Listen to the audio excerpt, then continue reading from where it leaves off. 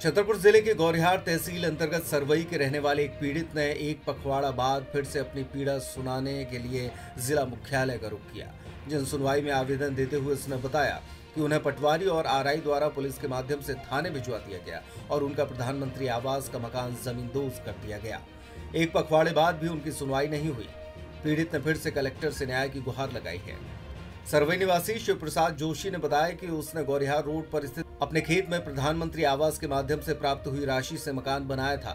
मकान में अभी छत डाली जानी थी, लेकिन इस मकान को प्रशासन ने ध्वस्त कर दिया। शिव प्रसाद के मुताबिक पड़ोसी किसान राकेश, बसोर वगैरह उनकी भूमि पर जबरन कब्जा करना चाहते हैं। चूँकि 18 वर्ष पहले सीमांकन हुआ था, जिसमें संबंधित ज़मीन उसके हिस्से में आई थी। वर्तमान में लोक निर्माण विभाग में अधिकृत हुई ज़मीन का रिकॉर्ड दुरुस्त न होने का पटवारी और आरआई लाभ ले रहे हैं। पीड़ित का आरोप है कि उसकी ज़मीन जबरन छीनी जा रही है। समस्या ये लेके आए हैं कि श्रीमान जी, हमारे मकान बन था तीन सौ सत्तर में और पीएम आवास मोदी का मतलब हमको पैसा मिला हुआ था। मिलने के बाद हमने अपना मकान बनवाया। मकान बनाने के बाद में ये तहसीलदार पटवारी साहब गए वहाँ पे नाप करने के लिए। हमें कोई सूचना नहीं दी गई।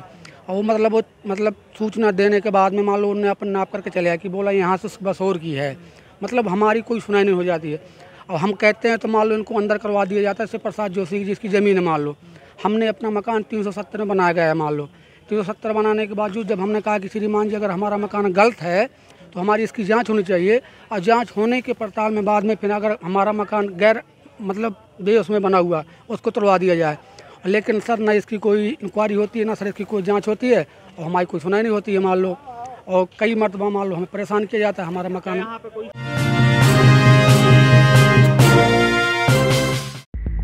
अब इमरजेंसी हालातों में इलाज के लिए महानगरों की ओर भागने की ज़रूरत नहीं। छतरपुर में आ गया है झांसी का प्रख्यात और भरोसेमंद संस्थान Sanjeevani ICU and multi speciality hospital. Heart attack, asthma attack, accidental मरीजों के लिए जीवन रक्षक उपकरणों के साथ इलाज की सुविधा। छतरपुर के लिए वरदान 24 घंटे भर्ती की सुविधा। गंभीर मरीजों के लिए वेंटिलेटर युक्त संसाधनों और योग्य चिकित्सकों की सुविधा। 24 घंटे डायलिसिस सुविधा। इमरजेंसी हालातों में संपर्क करें। Sanjeevani ICU and multi speciality hospital.